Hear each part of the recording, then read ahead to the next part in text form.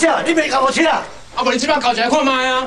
我是个我想请你。你我爱找不找我嘛免你管呐。两代 loser 边走边吵，卢广仲跟蔡振南这对父子在戏剧花甲里挑战持续三分钟流利互骂的戏码。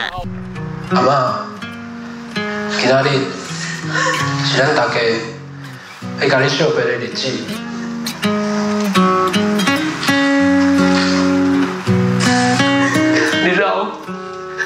拿倒来吃，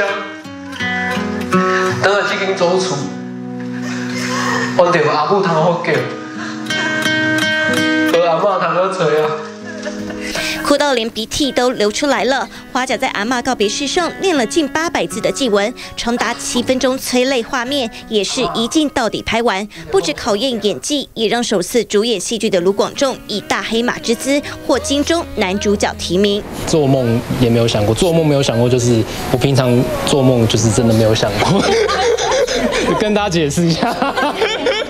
因为你知道我可能平常做梦会梦到吃早餐 还是什么写歌，可是真的没有梦梦过入围男主角，所以就是很开心。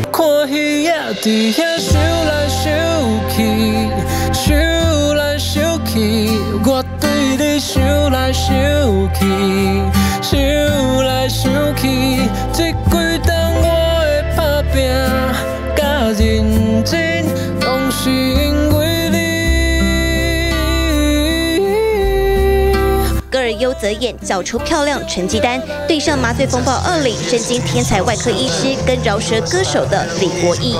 目前上患人数还不明，现在有抗联的外科医师正在帮患者做急救。有人员受更，开挖进去多久会到？大概要十五分钟吧。十五分钟，来不及。好，你要做什么？我要做这个 invitation。现场只有我们两个医师，如果你同意的话，我们现在就可以来做。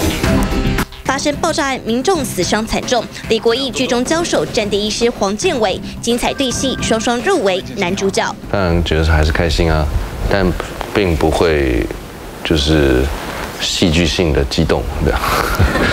第四度扣关金钟奖视帝黄建伟仍以平常心看待，对照出道十二年首度入围的李国义。当下就第一个跑去找我的妈妈，妈妈很开心的站起来抱着我，然后流了眼泪。当下的我自己也红了眼眶，惊喜之情溢于言表。同样第一次被提名，张轩瑞则在我的男孩跟林心如上演姐弟恋。在我二十岁那年，学会了两件事：第一，当下勇敢。不准来反正我只是弟弟啊，为什么不准我去？第二，没办法用说的时候，那就拥抱吧。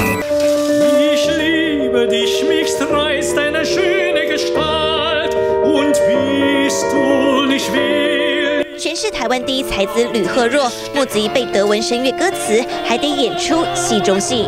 莫莫莫啦，太太太莫莫莫莫快单啦！